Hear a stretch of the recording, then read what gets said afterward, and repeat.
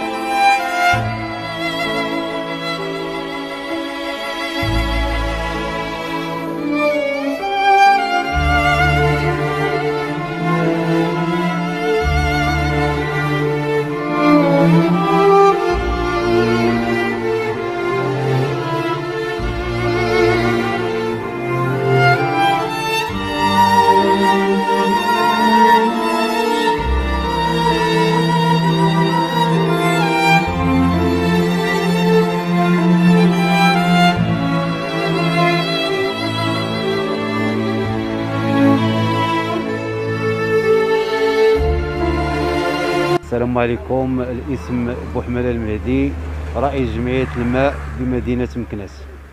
آه، كنشكر هاد القناة الإلكترونية نيوز ويسلان على هاد على هاد المبادرة اللي كتقوم على المقابر ديال مدينة مكناس. ومن هذا المنبر كنشكر الفاعلين اللي كيخدموا في هذه المقبرة اللي كيقوم جميع جميع ال- ال- الأعمال من النظافة والحراسة والمتاعب ديالهم. وكنشكر الأم ديالهم اللي امراه آه، آه، متقدمة في السن اللي كتقوم بتزويد الزوار بالماء المقابر وكنتمنى واحد النظرة شاملة واحد آه، واحد الالتفاته ديال السلطة ديال السلطة المحلية والمسؤولين وبالخصوص وزارة الأوقاف والشؤون الإسلامية اللي تنصف هاد الأحياء اللي كي اللي كي اللي كي اللي كي اللي كيخدموا في هذه المقبرة قبل قبل قبل من الأموات. الأحياء اللي كيقوموا بهذه الأعمال الشاقة ومساعدة الزوار اللي اللي كيتوافدوا على هذه المقبرة ديال آه، الشهداء بمدينة مكناس اللي الضريح ديالها الشيخ الكامل. ومن هذا المنبر هذا كنشكر آه، جميع الفاعلين واللي واللي كي- كيقوموا بين الفينة والأخرى الالتفاته لهذه المقابر بمساعدة آه، الإنعاش اللي كي اللي كي اللي كيقوموا هنا بالنظافة آه، مرة تقريبا مرة في السنة اللي كيقوموا بالتنظيف ديال ال- ال- المقابر. وكنشكر القناة مرة ثانية على الالتفاته وعلى المبادرة ديالها اللي قامت في هذه المقبرة هذه. وشكرا جزيلا.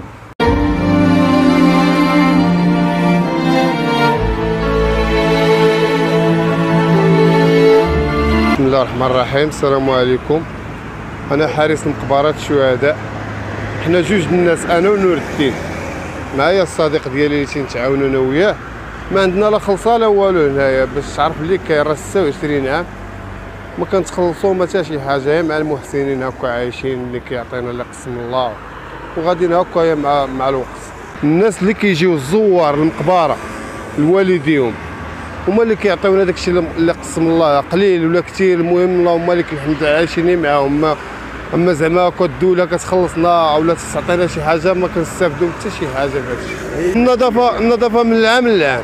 من العام للعام عاد تيصيفطوا أصحاب الإنعاش.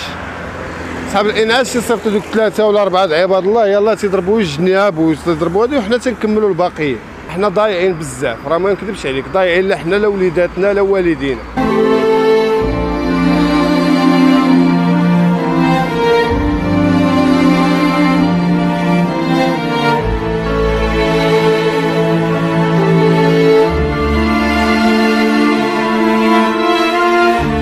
هذا قيل طرح سؤال حول أن المقابر العقار في المقابر هناك خصاص كبير. فكان الجواب أن وزارة الأوقاف لا يمكنها أن تسلم عقار للمقابر فيما أن المغرب في حاجة إلى تقريبا 100 هكتار سنويا من المقابر لأن ارتفاع عدد الموتى ارتفع بحدة بسبب هذا الوباء بسبب الأمراض الخبيثة بسبب ارتفاع حوادث السير بسبب الإجرام. ولكن تنع- قلت سابقا في وسائل الاعلام المسموعة والمرئية بأن المغرب سيعيش الطامه الكبرى في أفق 2020 من حيث الخصاص في المقابر. ونحن نعاني. هل المغاربة مستقبلا سيدفنون أمواتهم في الشارع العام أو في منازلهم؟ المسؤولية تبقى على عاتق الدولة. الشق الثاني هو أن المقابر طبقا للفصل 50 من الميثاق الجماعي مسؤوليتها ترجع إلى الجماعات المحلية. الجماعات المحلية تتنصل من هذه المهمة. عندما تنظم الجماعة المحلية أي جماعة محلية ق- محلية في المدينة أو في أو ق- جماعة قروية تخصص واحد القسط زهيد لميزانية المقابر. المقابر خصها النظافة خصها الصيانة خصها الحراسة لأنها حرمة حرمة الميت أكثر من حرمة الحي. ونحن لا نبالي بذلك.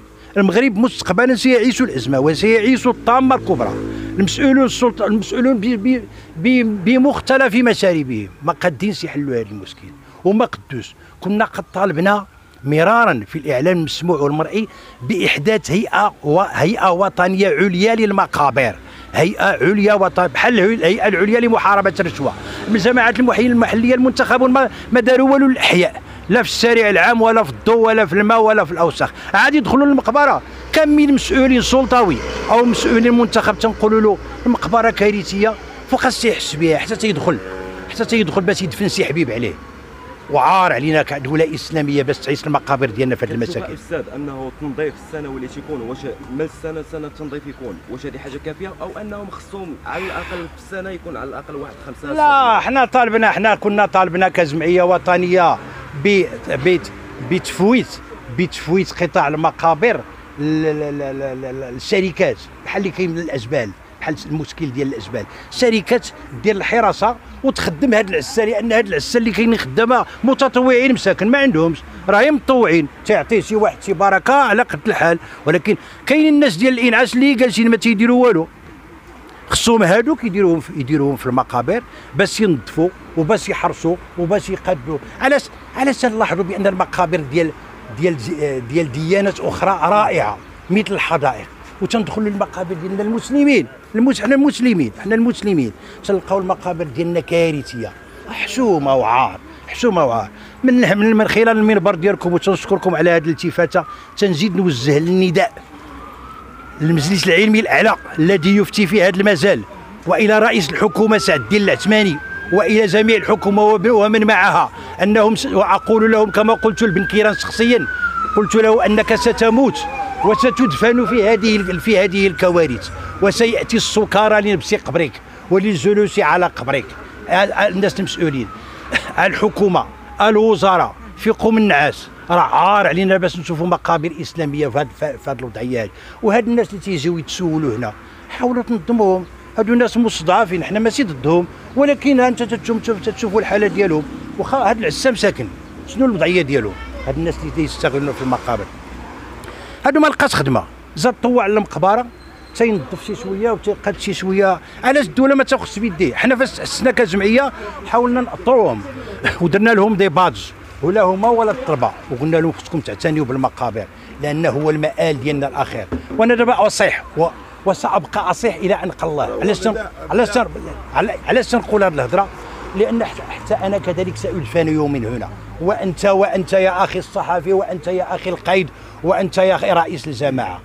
عار علينا أن نرى مقابرنا بهذا الشكل تنشكركم مرة أخرى وتنحييكم من خلال هذه الالتفاتة ديالكم وإلى فرصة أخرى إن شاء الله. بدات السي جواد الكوهن راه حمانا بعدا.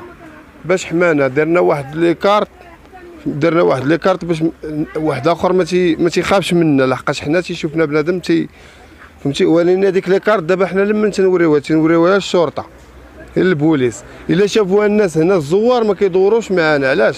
تيقولوا هذوك راه كيتخلصوا حنا راه ما كنتخلصوش. حنا درنا داك السيد درنا دوك لي بادجي حماية لينا. هادشي اللي كاين.